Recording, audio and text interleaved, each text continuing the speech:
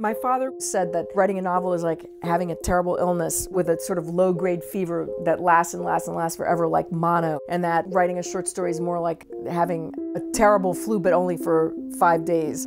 The fact that it's a short story does not make it any easier, simpler, shorter. To me, it just seemed like I can slightly wrap my mind around a narrative that's in that form. When I'm writing something longer, still feel like it's little short stories cobbled together. It's really demanding. Laurie King once said, I don't write stories because they're as hard as novels. You realize that every word has to count. It has to have a really crucial turn at the end. Something does have to happen. I see short stories as very much exercises in style. When I write them, they're very unemotional, and I often find that quite a cruel side of myself comes out in a short story. Short story, it's something that I wouldn't start writing it until I had the whole thing. And then, of course, in the process of writing it, things changed and language changed and stories changed. But it was something that, for me, it was about writing something that was already complete at some level. It's all about boiling down, boiling down. And that's why I love short stories because they're so potent, because it's all about being essential. There's an intensity in a short story that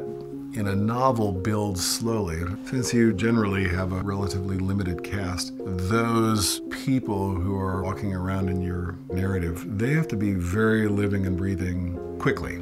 There's another realm in which you communicate in heart to heart. It comes down to believing in yourself. You have to believe that you're telling a unique story that will never be told unless you tell it.